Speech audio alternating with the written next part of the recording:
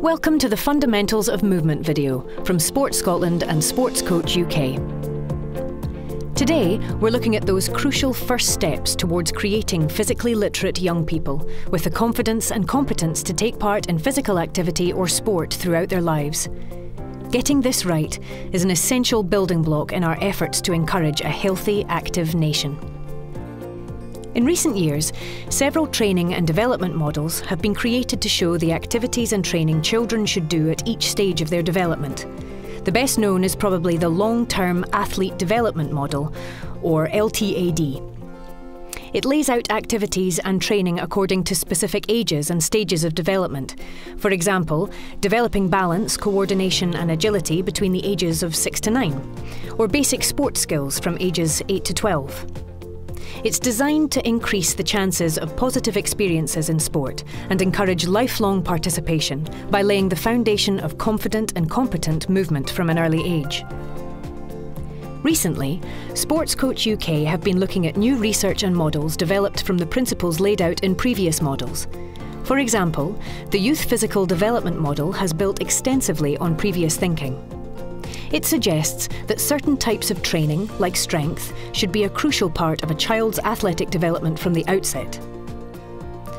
The work of world leading experts, doctors Rhodri Lloyd and Jon Oliver of Cardiff Metropolitan University, is based on evidence that young athletes of both genders respond to training throughout childhood and adolescence. It's been designed to show how coaches can make a real difference at every stage of development. The aim of this video is to bring the model to life by explaining the terms it uses and the differences between the male and female versions. Let's start with the left-hand column of the table you can see on the screen. We'll look at each section and explain what the terminology means. Chronological age is just what it sounds like, how old the child is. It has traditionally been the most common way of thinking about developmental stages in children. But children of the same age develop differently. The beginning of puberty, for example, and the start of growth spurt can vary a lot. The Youth Development Model uses maturational status to consider a child's developmental progress. That's separated into three key stages prepubertal, pubertal, and postpubertal. Let's look at the models. The lighter shaded areas show pre puberty, Darker shading indicates adolescence, where we'd expect to see a child's fastest growth rate. That's usually referred to as peak height velocity, or PHV. These phases differ on the male and female models because girls, on average, start puberty and reach peak height velocity about two years before boys. If we use maturational status along with chronological age as a guide to developmental stage, it helps us tailor training to each individual child. Training adaptation refers to the child's response to training and the changes it creates in them. Before puberty, those changes will be largely neural. As puberty advances, they'll be both neural and hormonal. The physical qualities section of the model is the most important. It's where we identify the specific training types to focus on and when. We'll look at it in more detail in the next section. Training structure shows the levels of structure needed as a child develops. For example, at the younger stages, training will mostly be formed around play.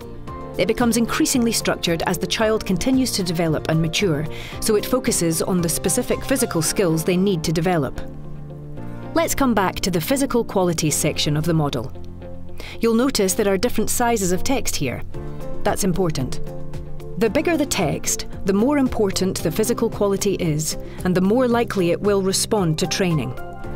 So, for example, fundamental movement skills and strength are given more importance than all other physical qualities in early childhood. But agility, speed, power and strength become the primary focus from middle childhood and through the adolescent growth spurt. Simply put, the larger the text, the more coaches should focus their training on developing those physical qualities. Let's look at each in turn. Fundamental movement skills, or FMS, are a priority at an early age, but less of a focus once they've been mastered. Rapid development of the central nervous system in early childhood supports the learning and development of these skills, which are related to locomotion, manipulation, and stabilisation. We're putting some examples on your screen now. Early mastery of fundamental movement skills lets children progress to sport specific skills. Mastery means being able to perform movements proficiently and with control, even at speed or under pressure. Without it, children can struggle with the more advanced skills. When strength is developed alongside FMS, it creates a foundation for all other forms of exercise and helps children to demonstrate controlled movements.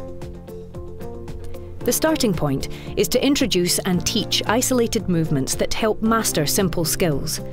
Long term, you're aiming to teach children to link movements and combine multiple skills. As an example, running links to dribbling, turning, and kicking in young footballers, leaping links to catching, rotation, and throwing in netballers. FMS training remains part of the coaching process at every stage of an athlete's development. That offers maintenance and catching up for anyone who missed crucial periods of development and helps support participation, confidence, and success. Even top level coaches retain some element of FMS in their training regimes. Once the fundamentals have been mastered, we move on to sport specific skills. These are more advanced and shouldn't be attempted until children are confident in their fundamental skills. Moving on too quickly could actually inhibit children's sporting and physical development. That's why the model shows sport specific skills as less important than fundamentals during the early stages of development. Mobility doesn't take precedence at any stage, but it's an essential aspect of training throughout a young athlete's career and onwards. In this model, it's considered to be most important during the pre adolescent growth phase.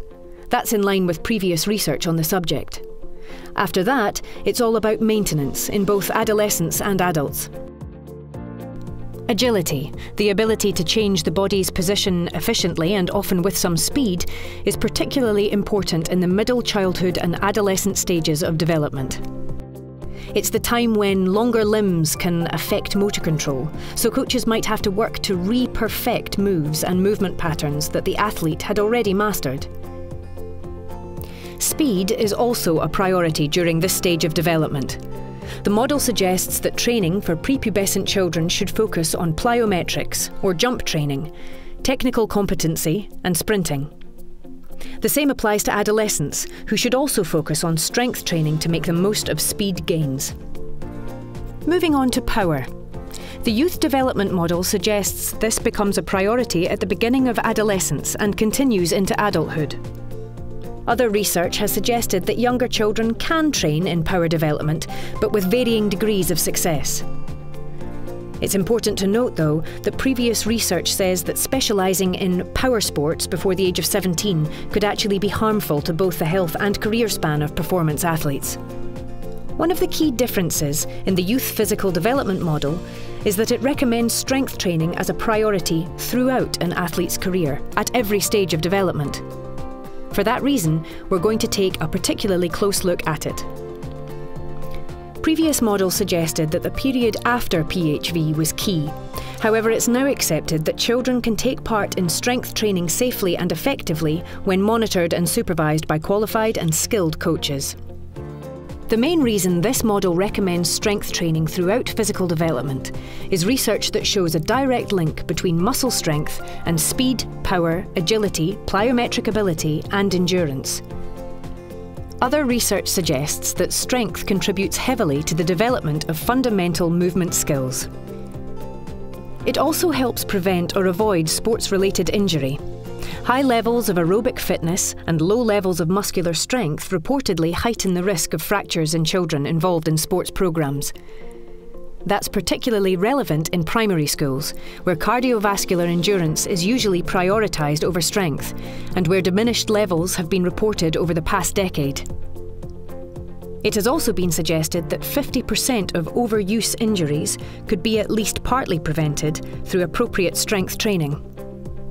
And strength is particularly important for female athletes, who are at greater risk of osteoporosis in later years, and who are also more affected by things like an increased knee valgus angle, quadriceps dominant landing strategies, and increased fat mass and joint laxity. Strength training in children tends to focus on their ability to perform body weight only exercises with good control, which can form the basis of FMS development and maintenance. With the Youth Physical Development Model as their rationale, coaches should ensure they prioritise strength training over other forms of development.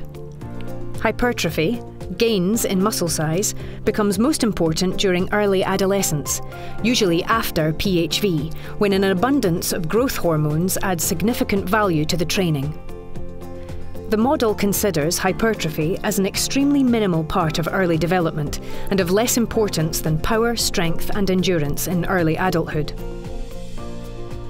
The final physical qualities in the model are endurance and metabolic conditioning. These are related to training that improves the ability of muscle to use aerobic and anaerobic energy and resist fatigue. Children usually get enough from other activities and training, not to need specific training for this quality. So in the model, it's not a priority for males until the later stage of development. It's not seen as a priority for females at any stage.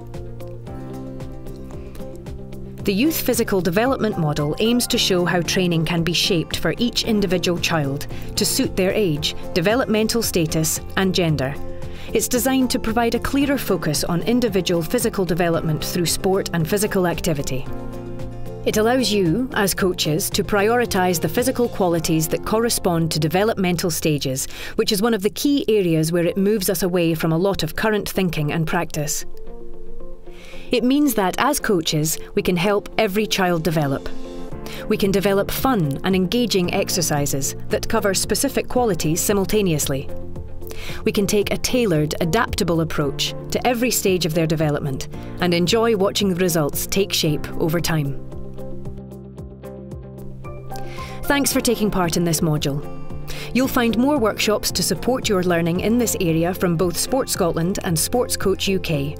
A list of titles is on your screen now. You can access them through the Sport Scotland and Sports Coach UK websites or apps. Thanks for watching.